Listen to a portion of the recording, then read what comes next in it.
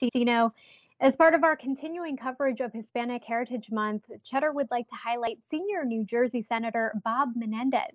Born to Cuban immigrant parents back in 1954, Menendez grew up in Union City, New Jersey, where an affinity for public speaking led him to a life in politics. In 2006, Menendez became only the sixth Hispanic to serve in the United States Senate and Senator Bob Menendez joins us now. Senator, thank you so much for joining us. My first question for you why is Hispanic Heritage Month so important? Well, good to be with you, Asia. Look, uh, Hispanic Heritage Month is important because it is a celebration of the contributions uh, of a community uh, that uh, has had a history in our country since before the founding of the nation. Uh, when uh, St. Augustine, Florida, the oldest city uh, in America, was founded by uh, a gentleman named Pedro Aviles de Menendez. Uh, when Bernardo de Galvez, a Spanish acting governor in Louisiana, led an all Spanish contingent against the British as they were advancing on George Washington. Uh, to the realities of the names on the Vietnam War, disproportionately Latino, uh, who died in defense of the nation, uh, to tremendous successes in the arts and sciences, and so much more. So it is a celebration of all of that. The largest minority, fastest growing uh, in the nation, a trillion dollar domestic marketplace uh, that comes from the community. And so um, these are all the elements that we celebrate uh, at this time every year. Well said. We mentioned that your parents were Cuban immigrants. Were there any lessons that they instilled in you that you still serve that serve you well today in the Senate? Well, you know, my my mother uh, was my hero, is my hero. She's not alive with us uh, anymore, but uh, she was someone who had the courage to uproot herself from her country because she didn't like uh, what she saw uh, in, in Batista, a dictator of the right. She didn't like what she saw in the Sierra Maestra with Castro, and she uprooted uh, our family then my brother and sister and my father to come to the United States and start all over again uh, with no guarantees, and not a full understanding of the language, customs, uh, no uh, job guarantees. Uh, and I think about the courage it takes to uproot yourself to start all over again because you don't want your children, my my brother and sister at that time, to grow up in such a country. So that's the type of courage and determination she had hard work and sacrifice. Uh, she was a seamstress in the factories of Hudson County. Uh, and I would look at her and often wonder how, after a long, hard day of work, she'd come at home. She'd say, Sit down and read your homework to me. I'd say to her, You don't understand English. And she said, That's what you think. Uh, read it to me. And it was expression of the importance of education. Uh, I learned about equal pay for equal work when she was so good at what she did that they told her to work on the floor in the factory and help other workers, but she never got paid with guys who were the uh, floor managers got paid. Uh, so that taught me about equal work for equal pay. Uh, and then uh, lastly, she had a long struggle with Alzheimer's. Uh, and it taught me about the intergenerational challenges we face as families when we have a loved one who's ill, as we try to educate our children and also take care of our loved one in the twilight of their lives. So many life lessons came uh, from her. So many powerful lessons, and I'm sure so many that others can relate to out there. She sounds like a really strong woman. But I want to go ahead and switch gears because we are coming off the heels of a debate last night you are an ardent critic of President Trump. So, what were your biggest takeaways? Well, my first of all, I, I think it it was uh, a national embarrassment, and the world was watching.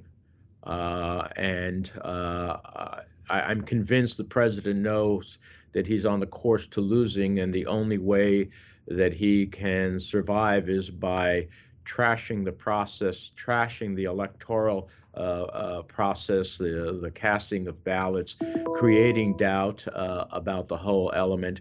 Uh, you know, he, he, couldn't he couldn't speak to one thing that's important in the lives of the American people. You know, he he knew about the pandemic well before the rest of us did. He knew how deadly it was. Uh, he lied, and 200,000 people died. Uh, he didn't pay what the normal person in our country pays. He didn't pay a scintilla of that. The teacher, the police officer, the sanitation worker, all paid far more than Donald Trump's uh, no no no tax payments for 10 years or $750 in the last two years. Uh, that's outrageous. The reason we pay taxes is for the public good. Uh, and then you know he he he has no sense uh, about our standing in the world and our ability uh, to regain allies, which we have lost under his leadership. So, um, you know, the the reality is, I, I, thought the debate was a national disgrace. He can't even abide by the rules of a debate, much less does he think that the laws of the country apply to him. You brought up taxes. You were on the Senate floor yesterday blasting the president over his reported tax documents. Let's go ahead and play that clip when it came up last night. President is a liar, a cheat, and a fraud. For years, he marketed himself as a self made, successful businessman. But it's all an illusion. And as we said last night during the debate, the president claimed that he's actually been paying millions in taxes, not $750. Unclear on whether he was talking about federal income tax, which was the question. But I think the real question here is do you think that the American people and voters actually care about this issue? Well, look, I, I think no one uh, uh, is happy to pay taxes, but they certainly are extremely unhappy uh, when the president of the country pays nothing and they pay more than their fair share. Uh, this is a president who ha- is the only president in modern history who has not released his tax returns.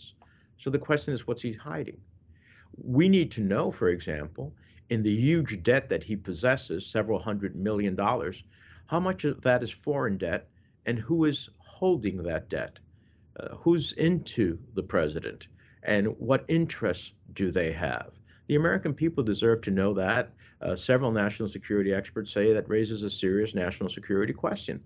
So, whether it's fairness and justice in terms of participating in the collective needs of all of us by paying your fair share, or whether it is about our national security uh, and not showing your taxes because you don't want to show who you owe to foreign countries and foreign individuals, uh, this is something that I think does resonate at the end of the day because people work hard, they pay their taxes, they expect the President of the United States to do the same.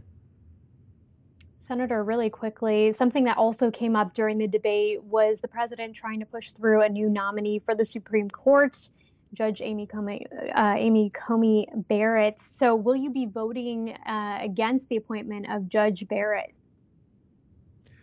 Look, this is not a process that is acceptable. Millions of people are voting already. They should have a say in who nominates the next president, uh, excuse me, the next uh, Supreme Court justice by virtue of being elected as president.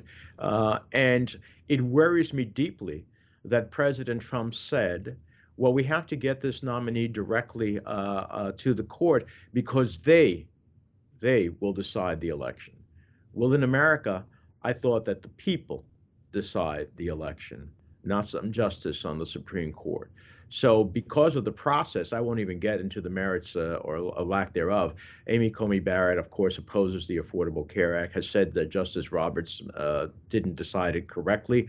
That means the end of health protections for millions of Americans, the end uh, of health coverage for millions of Americans, the end of pre existing conditions protections for millions of Americans, a woman's right to choose.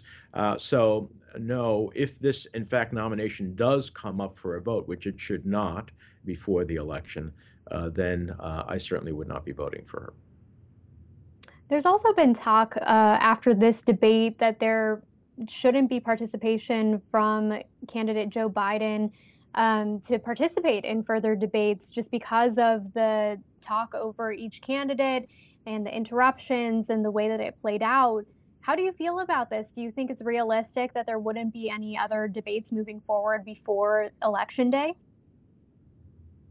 Well, I think that the Commission on Presidential Debates uh, has to get their act in order. Uh, there should be a kill button uh, for the moderator when any of the two candidates uh, exceeds their time or speaks over the other. There's no value in a debate where President Trump acts like a China in a, a you know a, a, bull in a china closet, wants to muscle his way through because he doesn't want to talk about how he's failed in the pandemic and hundreds of thousands and millions uh, are infected. Uh, he doesn't want to talk about how the economic consequences from his failure of leadership has led us to a, a dismal time. He doesn't want to talk about that he has no plan for health care, even as he seeks to destroy the Affordable Care Act. Uh, so I think the, uh, there should be debates, but there has to be a different system in which the moderator has to have some control, uh, because otherwise the American people get nothing, and the nation is further humiliated. Senior Senator from New Jersey, Bob Menendez. Thank you so much for joining us. Really appreciate your